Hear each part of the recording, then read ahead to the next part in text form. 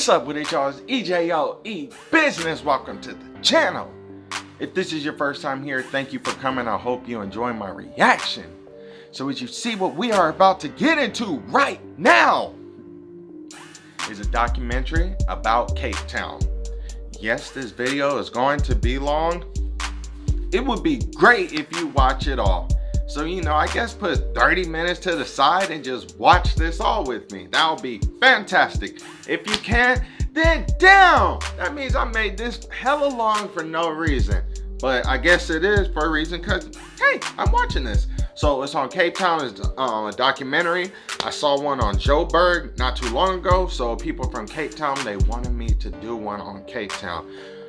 This was hard to find something about it because I put in um, stuff for Cape Town and everything that came up was basically negative about gangs, how to survive in Cape Town, um, how not to get robbed, then like, oh, how to live luxurious, like, you know, it's talking all that. So I just found this, it's called Behind the Beauty Cape Town mini documentary, uh, documentary.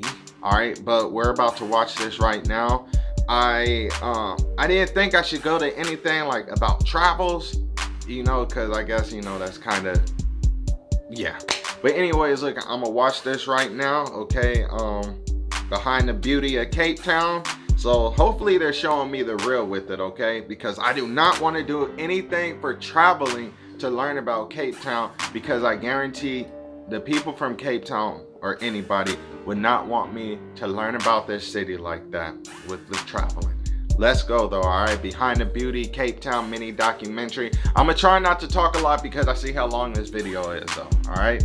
Let's get it. South Africa, probably one of the most beautiful and interesting countries in the world. But beyond all this beauty, there is another side. One of the highest crime rates in the world. Murders based on racism. People talking about a revolution. And these are just some of the problems the country is facing at the moment. In March 2019, we visited Cape Town and talked to people from all walks of life to find out what it's like to live in a place that the World Bank calls the most unequal city in the world. So I guess I'm about to see the real about Cape Town. So I'm sure this The first person we was Simba. I'm not watching any bullshit. Coincidentally in a cafe where he was working. Simba introduced us to his friend Mazikzole. Like Simba, he wants economic justice. Mazikzole told us about Karabo, who is his biggest political opponent at university. She is the youngest member of the Democratic Alliance, which is a liberal party that stands for an open opportunity society for all. During our stay, we had the chance to be hosted by Nick. He works in the IT sector but was born and raised on a farm. Nick introduced us to his boss Ihsan. He fully experienced apartheid as a colored person. Then we met a couple, Jess and Rob. Both strongly believe in the strength and goodness of the South African people. The next person we met was Patricia. Patricia comes from a family which always actively fought against apartheid. On our very last day, we had the chance to meet Tom. He works and lives in the township called. Alright, you guys, I think this is cool that I'm watching this about Cape Town because as of right now, I see it's about to be the real. I'm not going to be watching anything just showing just the luxurious area of Cape Town. So I think this is cool that I'm about to watch this and I hope that if any of you guys never seen this, I hope you guys enjoy it and you guys come along with the ride with me for watching this. Langa. It's one of the most progressive townships around Cape Town. All those different people gave us a better understanding of the deep, unsettled issues that South Africa faces. And here is how it all started.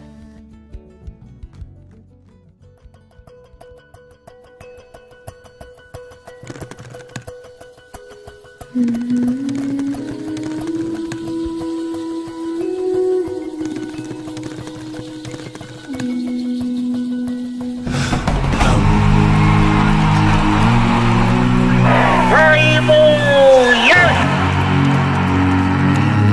The idea of a new South Africa where all South Africans are equal The old South African flag, there still wasn't a black face to be seen. But now it really is this rainbow nation.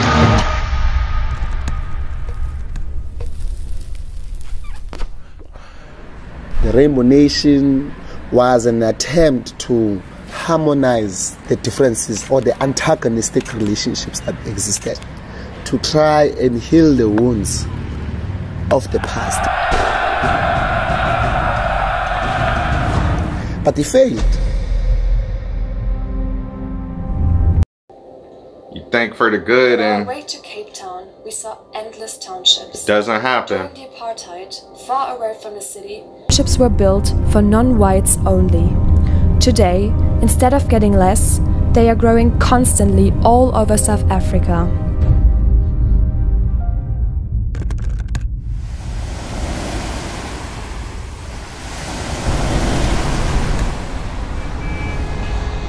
Looks nice. I think the Rainbow Nation was a, a fairy tale. It was a, a great idea, but not achievable. It failed because the attempt to it was a cosmetic change. You know, when you put on makeup, but deep down in your soul, there's an ugly, you know, presence of yourself. South Africa then tried to put on the makeup of our past, which in ways doesn't really resolve the fundamental problem of the past, which is conquest, which is land theft, which is cultural assimilation.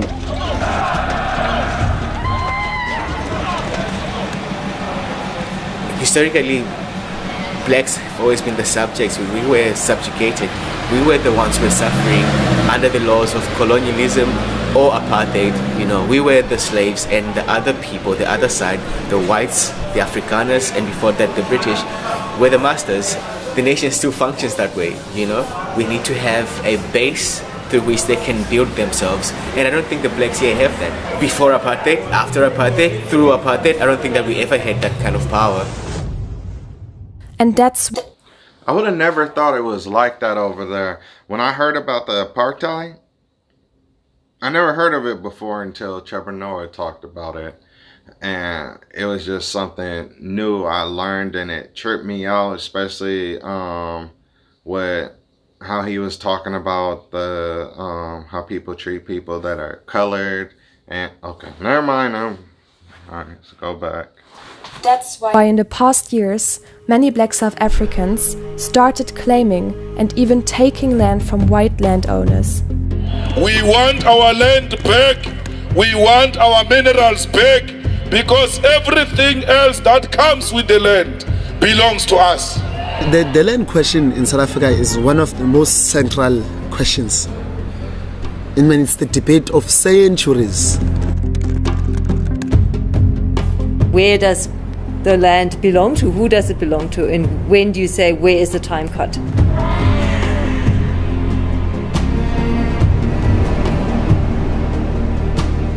Tribes from upcountry from the Congo Basin, they have traveled in over 1,000, 5,000 years ago and they settled like Xhosa and Zulu and all these different tribes coming into South Africa. You cannot landmark a time where this has belonged to someone.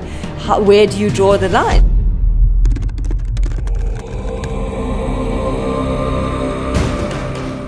Over 100 years of fighting up until the Africans were defeated by Europeans. What Europeans did to us was an unprovoked war. There was no provocation. We didn't do anything. We never went to Europe and take some of their stuff. Once you take people's land, you take their ability to recreate their own selves. seeing stuff like that how um what he was talking about how the europeans came and you know just took the people you know as slaves. Me i thought it only happened with the europeans coming to get people from africa bringing us to america. I didn't even think about that like people coming from uh, people bringing people from africa to europe. This was when i was younger because we were taught that we we came we brought africans to america so i did not know that oh yeah they went to different continents never knew that until i gotten older There's an actual need for people to have land because they don't have it. we are so easily controlled because we have no power, we have no property. They just they just took it. They assumed that it was theirs, right? They have this belief that we took it from them, and we are saying no, we didn't. Territory must be given back to its rightful owners. Everyone claims it's his land. Yeah. Can you say so?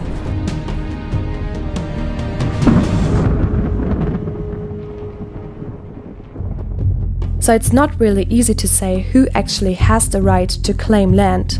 But it is definitely easy to say that there needs to be something done against the inequalities.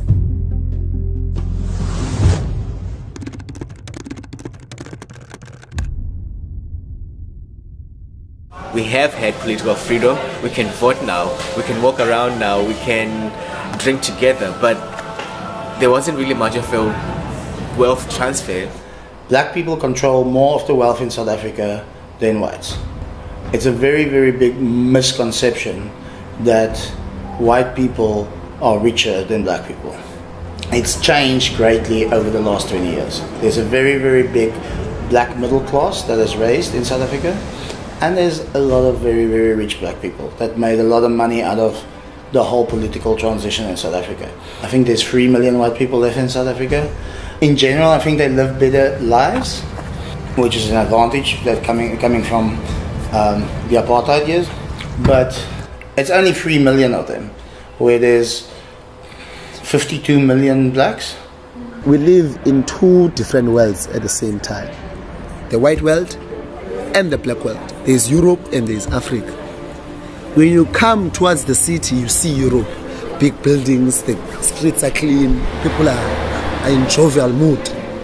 When you go to the other side, people are congested into small places. People are dying of disease. Blacks are killing each other, you know, over crime and gangs. All right, so here, um, when I was, I was, I was watching a documentary. Um, Ti, Ti, he went over to Cape Town and it showed like the buildings that um, people live in. That caught me off guard. I would have never thought that. Because what you hear about cape town is like oh it's a beautiful magical city. Da, da, da, you know so like how much people talk about stuff like that you don't really think about the bad side and how i saw that like how it was like the poor areas. I hate saying poor, but that caught me off guard. I just didn't think um, that people live in. I don't know what kind of buildings people call them. I, I, I never would have thought that. Oh, I would have never thought that. I saw that. That just caught me off guard. If you are in a white skin, you get to enjoy the privileges of life. You are living. You are ambitious, you are adventurous, you travel all over the world, make documentaries, tell touching people's stories. If Just like black, over here. It's a constant mode of survival. Just like over who here. Who lives in town, who does not live in town? Who is the cleaner, who is not a cleaner? All of the downgrading, dehumanizing, humiliating jobs and services are all designated to a particular group in society, while in relation, a group of a minority gets to enjoy all privileges. This is the type of setup that South Africa constantly deals with. Surely we should be angry and hate those who have created that particular atmosphere. We quickly realized that the big inequalities are leading to a lot of anger and hate. But we also learned that those are not the only reasons for these increasing emotions.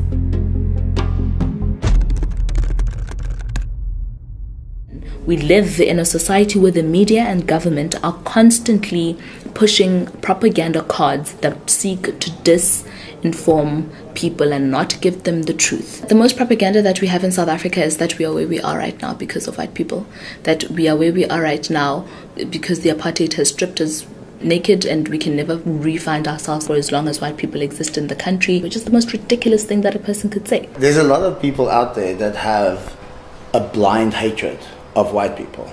They they absolutely look at each and every white person and just hate them and just blame them for everything that's wrong in their lives. How is hate gonna fix it? What creates the possibilities for black people to hate white people? Or what creates the possibilities of white people to be scared of black people? The big gated houses with security so tight so that they can raise their children in a nice, dignified way, while us, we raise our children in chaos. They are taught how to be and how to exist by the streets. My mother was a domestic worker who every Monday she has to go and come back on Friday. The whole week I'm not with her. Who then raises this child? The big differences in society don't only lead to hate, but also to racism. During our trip, we heard endless stories about racial discrimination. There's a tendency to feel like maybe you don't belong, or that maybe there's something inherently wrong with being black, and that's why we suffer.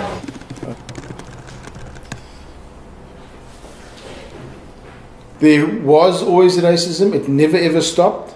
There will always be racism. There's no hiding that. You have people who walk into job spaces and because they're black, they can't have jobs. In the past, if you were not white, it would be very difficult to get the job. Now, when you apply for the job, and a lot of uh, people that I know that have applied for work are told that, well, we're actually looking for black people.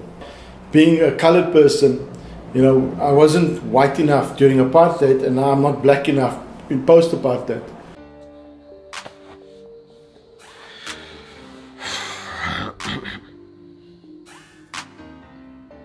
It's just like that over here. It's just like that over here. But one thing that they're trying to do right now that is big is they're trying to get a lot of businesses to accept more ethnic ethnic people. That's what they call them. First, you know, so basically anybody that's black, Hispanic, uh, Middle Eastern, Asian. Basically, you know, we got to start hiring more of them, start hiring more um, executives, more executives that are of different race. So, like what he's saying and like what I'm hearing, it just it seems like so different. Like kind of, it just kind of catches you off guard. Like for example, the white guy, how how what there's 3 million white people but i think he said what like 52 million black people basically like he's outnumbered and it kind of trips you out because there's more white people over here obviously we're outnumbered black people are outnumbered over here we're outnumbered um, even with hispanics over here 13% black uh 13% black and i think it's 74% white is 70% at at least. I know that. I haven't checked for a while, but the last time I checked it was. And this is crazy. Whenever I heard about this stuff with the colored people and all. Um, so we, we, we feel that kind of frustration also. I don't know. I wouldn't say we've experienced like harsh racism. Mm. Um, I think we'll we'll experience things like someone mistaking me for an Uber driver when we Oh, both in the car. yeah. You know, Wow. All the time. if I'm a black person and there's a white woman, He's driving. No. If he's driving, they think he's an Uber driver. it's I know, I know. Oh, things like like when we go out to eat, Mm. but you know, and oh, then that, they'll often bring me the bill. and then they'll yeah. give just the bill because I I don't know. Maybe the the the idea is I'm supposed to be bankrolling the yeah relationship. yeah. Hell yeah, I'll accept that. Give her the bill then. Because what you think I'm broke, then let her ass pay for it. I'll accept that. because she's white, she probably Yeah. has more money, and therefore, you know, Yeah. she will pay for the bill. I I firmly believe I'm that just playing. don't take that serious. You better not take it serious. If you watching this, you're like, what the fuck, man? Why is he saying that? No, I was just playing, alright. That a black person, especially in a South African context, mm. can't be racist because racism comes with a certain level of power. Um, and throughout our history, black people have never had any sort of power. I feel black people feel that we are more racist. Um, I had a conversation with a black guy in a coffee shop the other day, and he literally told me to go back um, to wherever I'm from. And I mean, I am from South Africa. Where, where do I go back? Hmm. I start talking to a black person, he immediately puts up a wall. I put up a wall because I don't want to be accused of things, and he feels like I did things, and everybody's just hung up what happened in the past, and we're not talking about the future. I think South Africa is a very long history, and that history uh, is still affecting South Africa now. The fact that I mean, like majority of people are still poor and live in the townships. That is the legacy of apartheid. So there's definitely a way more work that needs to be done before we can even get to like addressing issues of race. So I don't think the problem necessarily is the racial divide. The racial divide is a convenient tool for people to point at because it's convenient for me to say it's because of racism and because of white people that you're where you are right now instead of actually being frank to say that the state has failed us, the state has been corrupt, the state has been incapacitated, the state the state has been selfish and as a result we're where we are.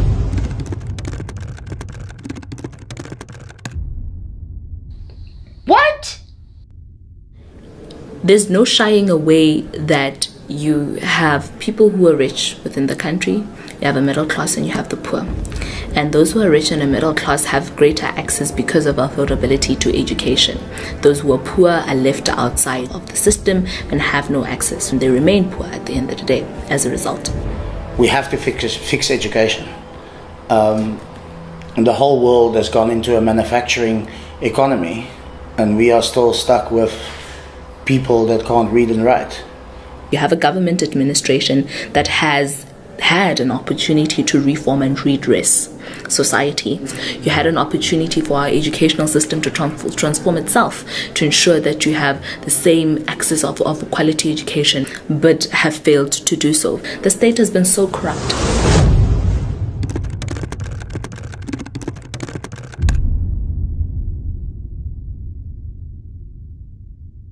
There's just like a backlog of problems um, that are also yeah. very very pressing and need to be addressed. On the outside it all looks still great because you see the cars driving you see we've still, still got electricity and water but it's quite questionable how for how long for five years the maintenance on the power plants of electricity hasn't been done. That means if they break apart now our electricity will be gone in no time Wow. During our time in Cape Town, South Africa cut off electricity on certain lines every day to prevent a national blackout, so everyone always had to check when exactly and for how long the power would go off at their place. And it, if we can feel it at our level as a middle class, how must it be for the life of, of the people living in the townships? And this is the majority of South Africans. I think with South Africa, where we are, people are quite tired of empty promises, especially when it comes to politics. People never got what they were promised the basic, the fundamentals, the basics of housing and sanitation, jobs, employment. They never really fulfilled those promises. If you're not getting what you need, people feel they need to strike, they need to damage property, they need to be heard, and they need attention. People are demanding things now. They're saying, you are you are a party and you mm. should deliver to the things that you said you're gonna deliver and we're not gonna I hope a lot of people are still watching. I know this isn't a music reaction or anything like that, but this would be dope if you guys are still watching, for real. Please, I hope some people are still watching. Gonna take anything less than that. And that's what you're seeing today with um, this generation of the born frees, people that were born after apartheid that generation is now a generation of frustrated people. This anger, a deep, deep seated anger. That's why there's a rise in those fringe political extremist parties because people are trying to voice out that frustration. And they really desperately needing something to change. And they're even willing to support parties like the EFF to mm. bring that change. And that to me is the worry. And the Economic Freedom Fighters, as a far left political party, have their own ways to solve the problems.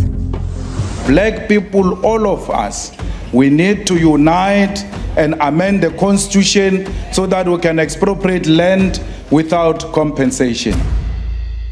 So, the expropriation of land without compensation is the most important call that has come out from black people.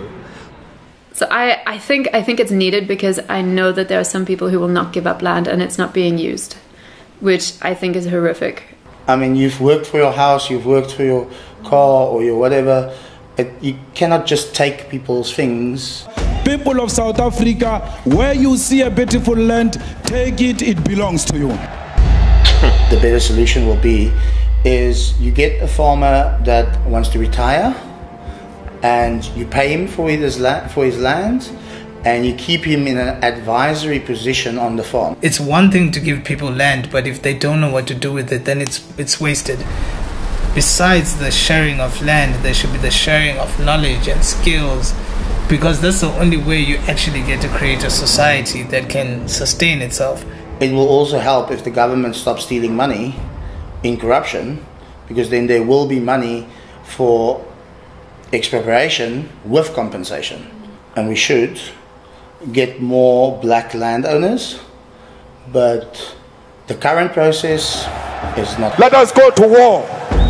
Let us arm ourselves. Now we are ready for war. So if they if they go on a mass expropriation without compensation, the total the, the econ- economy will collide. Some people I'm sure will flee, but there's a lot of people in South Africa that will put up a fight. If things are going the way they are, there will be a revolution in this country, I can tell you now. So there is a white minority in this country well aware about this possibility and they have got plans in place. If blacks take their land, they would come back. They will not stand silently, I can promise you that we've learned from other African countries and you know places like Zimbabwe uh, you know you can clearly see what has happened occupiers went to the farms they told the people you have four hours to pack up their stuff, and if you don't, then we will just kill you. And uh, yeah, so these people packed up their stuff, whatever they could in four hours, and left. Well, if that happens, what would it mean for South Africa? So everyone just has to. It will mean it will mean civil war. Damn. Definitely. Wow. We are aware enough that we don't want that for South Africa. I think people do want change, but it's never going to go to a point whereby there's like civil war or anything like that. Obviously, it's not something we want to happen, but it's something that we have to keep in mind in any future plans that we make. Although many people were always talking about a revolution, everyone was still very positive about future hopes and solutions.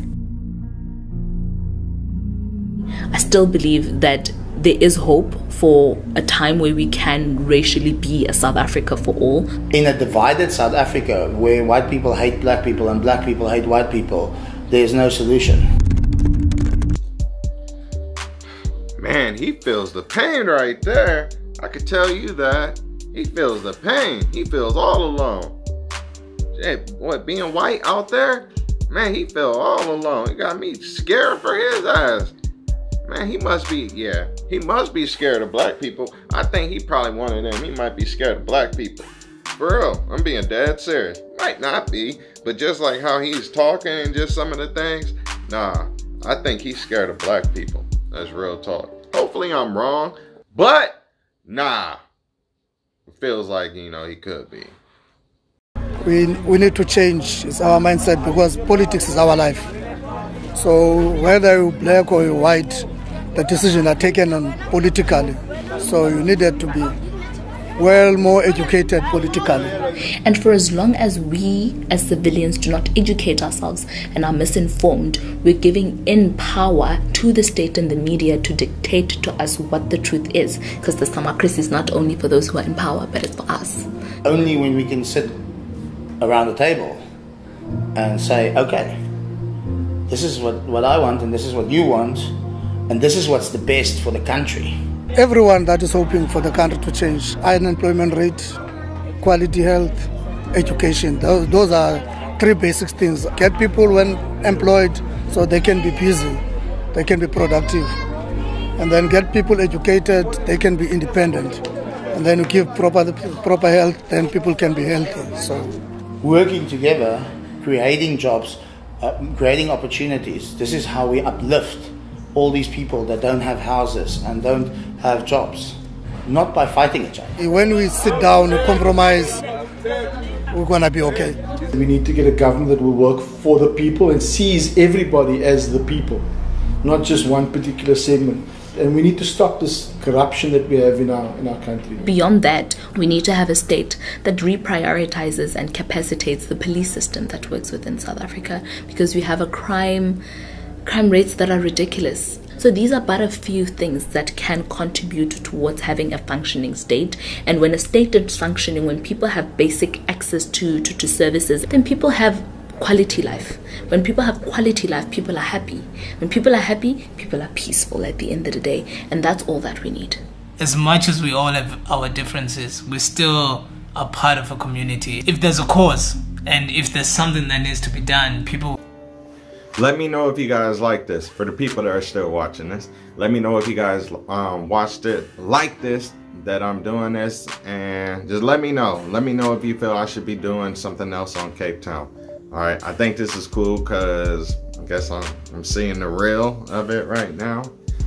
All right.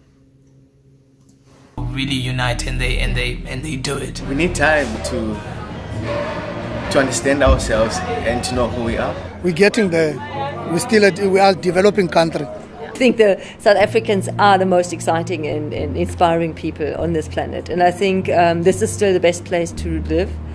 Um, it's exciting, and I'm really glad that my children grew up here and had the chance to be thrown into that diversity. What I like about Cape Town is what I don't like about Cape Town.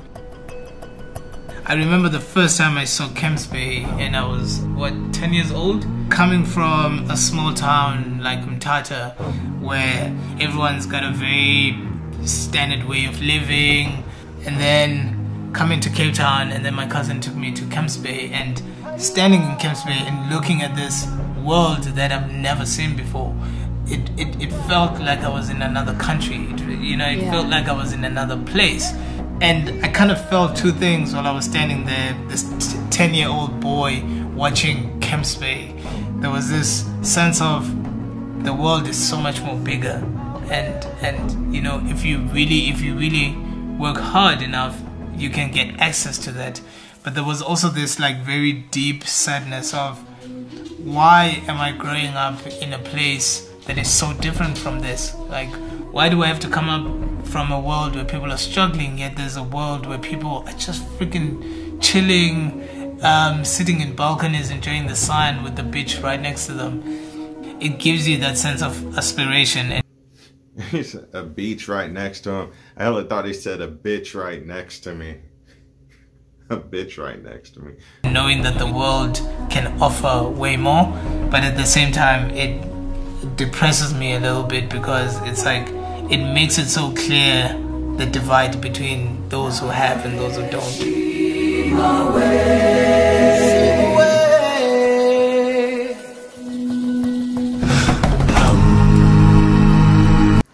That makes me want to go out to Cape Town even more. Let me know how you guys feel about it. People from Cape Town, just well, people all around the world, but I have people from Cape Town that wanted me to do this. Let me know if you'll like me to do something else about your place where you live. So let me know if you just want me to find like the luxuries of being in Cape Town. Let me know though, alright? Go ahead, like the video, subscribe to my channel, y'all. Thanks for coming.